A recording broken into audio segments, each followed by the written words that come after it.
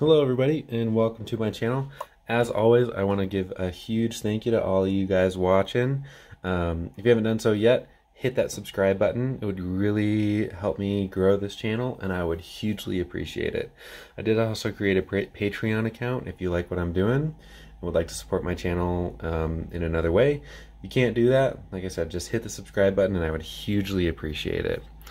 So, I've got a a journal that I'd never heard of before, uh, beyond a couple weeks ago, to review for you guys this week. So this is the LeStallion journal. I really hope I'm saying that right. I'm really bad with my accents, and I'm probably saying that the most American way that I possibly can, which is not great. So I apologize if I'm saying that wrong, and I will do my best.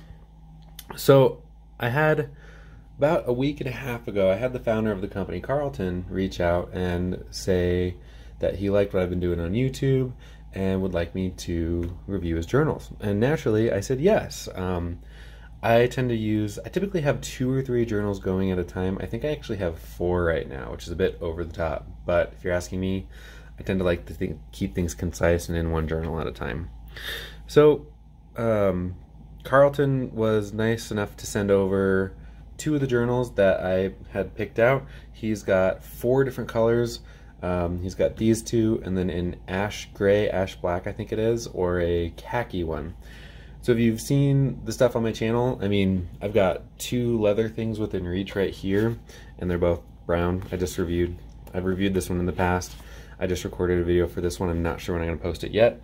But my bag over here, which I'm not gonna move the camera to because I've got a pretty good mess over here going on, but it's brown leather, and I just really like those. So he was kind enough to send over these two for my uh, review. so before I dive into the actual journals themselves, I like talking about the company. So it's inspired by the stallion horse, which is a male horse that has been ungelded or not castrated. And horses tend to be pretty, according to my wife at least, uh, male horses tend to be pretty finicky, aggressive, um, and just do their own thing. You know, they're going to do what they do regardless of what you want them to do, which is something that you might want out of some horses. So you want you're going to keep them ungelded so they can reach their full potential. By geld by um, gelding a horse, which I think is the right word for it, um, you're basically making that horse tame and docile, and basically to do thing do the things that you want it to do, like be a workhorse, um, follow my commands, whatever you want it to be. It's not going to rock the boat. So, in personal and professional life, the idea is that the person who's pushing the boundaries, doing what they want to do, um, just going for their full potential is going to be the one that achieves more in theory. And so, LeStallion wanted to come up with a good quality notebook in that principle. So, oftentimes, when you're first getting into stationery, if you've just never used a good notebook in your life, um, you're probably just going to be using the standard spiral bound notebook or lab notebook that you used in high school. And when I first started this blog, I was actually using a notebook like that. And I didn't really care about what I put into it. I didn't really care about the notebook. I actually never finished a notebook. Um, and then when I finally decided to, like, I needed a real notebook, I've now gone through maybe four or five just in the last year and a half between the blog and work. And, you know, I actually care about what I put into there. I care about the journal. I make sure I have it with me and everything. So by caring about the journal, you're going to care more about what you put into it. And you're also going to, you know, put write down more and just get better quality stuff out of it. So that's the whole idea behind LeStallion as a company. So when you first receive, give me like two seconds. Sorry about that. I had left the protective cover over on the uh, my bookcase over there. So when you first receive the notebook, you're going to get it in a nice hard cardboard cover. It's nice, thick, good quality cardboard. And on the back, you've got some stuff about what I've already talked about. So this is for this one, the Henson, the Desert Brown. I'll get into the colors and the names a little bit later. But the nice thing about this, especially since this is a soft cover, is if you were to just ship this in the mail with no protective cover, you might end up with a smashed up journal, which is like the worst thing in the world. Not literally, but what I, my point is that you're you're you spent some good money on a good journal and then it comes in and it's smashed up. It's like what the heck? I'm not going to appreciate it as much.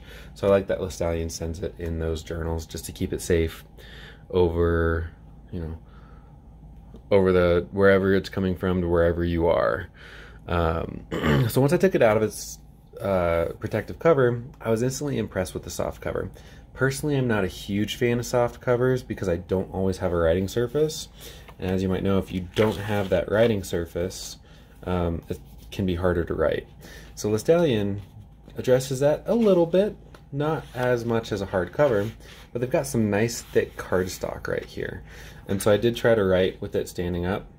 I think I did on the back actually. Yeah. So you can also see all the pens that I tested on it, but I'll dive into that later. So I was standing up, tried to write with this on this side, and actually that cardstock helps a lot. I think it also helps that I've got the pocket, the back pocket right here. So I've already mentioned, now that I've mentioned the pocket, we won't have to get to it later. So despite it being a soft cover, um, that cardstock definitely helps. So the um, it's a deluxe faux leather cover. So despite being faux leather, it is made out of the high quality um, faux leather that nearly matches the feel of real leather.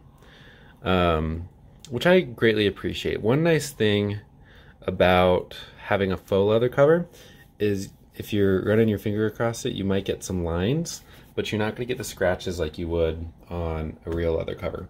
So I understand that there's different camps in that regard um, as to, you know, definitely build some character, but also I, I like the look of clean leather, so if I do scratch my real leather, I'll rub it out with my finger and just a little bit of oil, but that's personal preference.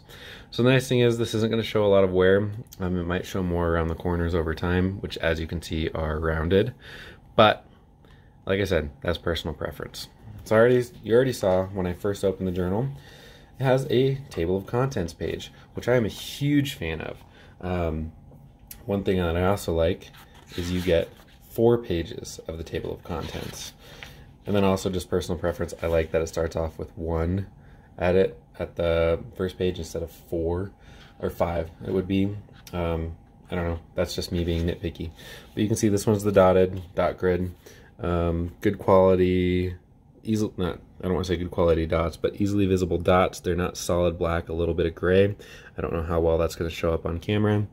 Um, you can also get this in a line journal, um, I'm not a huge fan of lined paper just because I like bullet journaling. Um, not my thing. So, but whatever your preference is, you can get that. Um, as far as I found, they don't sell them in blanks though. So that might be something that you, that uh, LeStallion might want to do in the future because there are people out there who really like it. So some journals that I've had, if they even include a contents page, only have two. Um, and so I don't know about you, but with like over 200 pages, you get about 216 total um, between the contents pages and then the last pages and the first page. You get about 216 pages total, and it's 120 GSM ivory colored paper. So it's pretty thick, um, and actually, I have my Leuchtturm right over here, just for comparison if you want to look at the thickness. The Leuchtturm has 250 pages, but it's thinner paper. I don't remember the GSM off the top of my head. Um, but one thing about 120 GSM, obviously it's going to be a little bit thicker. It's just heavier. But it's also going to hold, in theory, it should hold up to a variety of pens a lot better. So in terms of thickness, it's about 7 8 of an inch or 21 millimeters to be exact. Um, so just keep that in mind if that's something that you want to consider if you want something thinner. So you already saw the pens that I used on it, so let's dive into it a little bit more. So I threw just about everything I had in just available to me over a little bit at this. I wasn't able to use as many fountain pens as I would like, um, just because I didn't have a lot of them inked up, and I've been pretty busy, so I didn't want to ink up a bunch. But for a vast majority of the pens, you can see you can see very slight ghosting, which is actually showing up pretty well in this video. Not enough ghosting to make it problematic to write on the other side, but there is some bleed through that I'll note. You can see a little bit here and a little bit down here. So down here, this is the markers. So, I mean, that's understandable. So I've got the Zebra PM701, a couple different kinds of Sharpies, and then a highlighter. The highlighter is showing through slightly. Let me get that over here. Um, but not much. It is going to be noticeable, a lot more noticeable on the other side of the page. Like I've already said, this is no surprise. What surprised me were, so these two are the same ink. This is, or sorry, no, right here. So this one, the calligraphy dip pen, Noodler's Bay State Concord Grape. I said Bay State Purple here. Um, but that one, I don't know when I'm going to post a review for it. I'll probably post it after I do this video.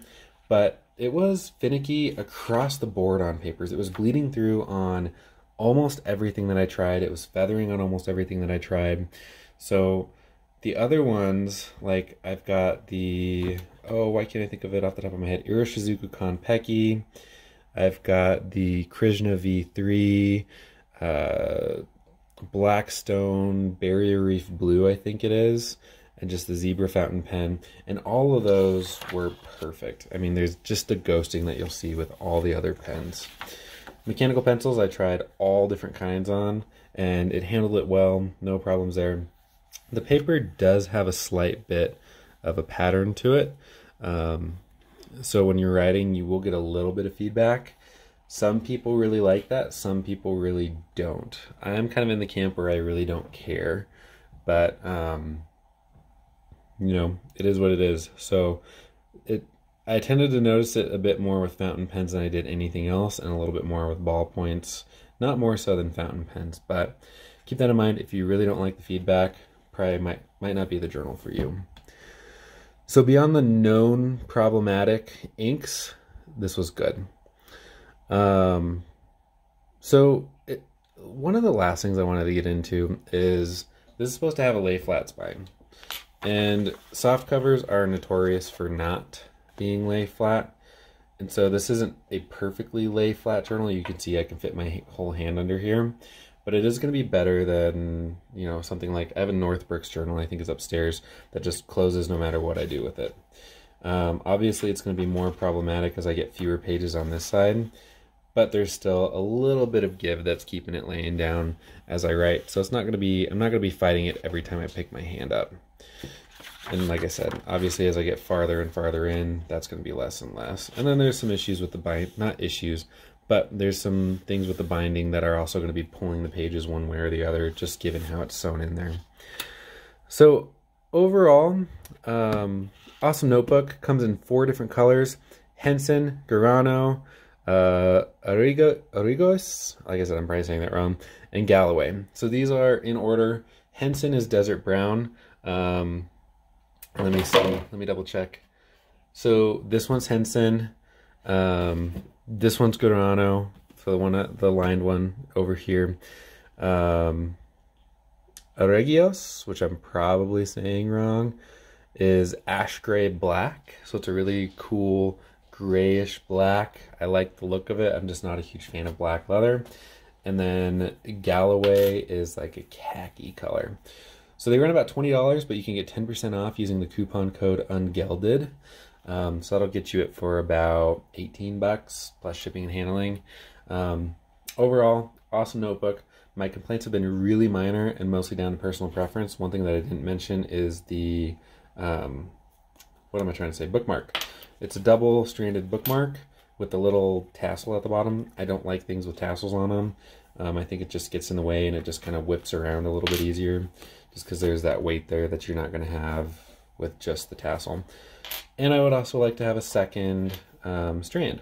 So maybe I'll cut this. I don't know yet. I haven't decided. I tend to like to keep things the way they are and unmodified. So, like I said, my only complaints really come down to personal preference that they've been relatively minor. The paper handles a ton of pens very well with problems that were expected that you're going to see on almost any paper that you use that ink or that pen on. Um, the lay flat binding works relatively well. This will probably get better in time and better with time and as I use it more. Um, they only come in A5 with dotted or lined, so if you like blank paper, you maybe reach out to LeStallion and say, hey, you should make it blank, and let them know that that's something you'd like. Holds up well the fountain pen ink, which is what I primarily use. Um, I don't. I'm not one of the ones that. I'm not one of the guys that tends to have like six pens inked at one time. Uh, just because if the ink dries out, then it's a pain in the butt to clean. $20, you're paying more than you would for most journals, especially if you go the non name brand route, but you're getting a good quality, good feel journal that you're going to be, you know, proud about carrying around. People are going to notice and be like, hey, that's a nice journal. Um, whereas if you just had the lab notebook, you're just another person in the bunch. Um, I don't want to put it that way, but you're just using the same thing that everyone else would use. And, you know, go a little bit, you know, if you like stationery, you know, we definitely appreciate good journals. We're willing to pay that $20, $25 for a journal because we use it and we value it. So check them out. Um, let them know that I sent you over there if uh, you'd be so kind, and I would greatly appreciate it. It's been one of my longer videos, so I appreciate all of you guys sticking it out um, just to see all the different aspects of this journal. So thanks for watching. Don't forget to hit the subscribe button and check out LeStallion.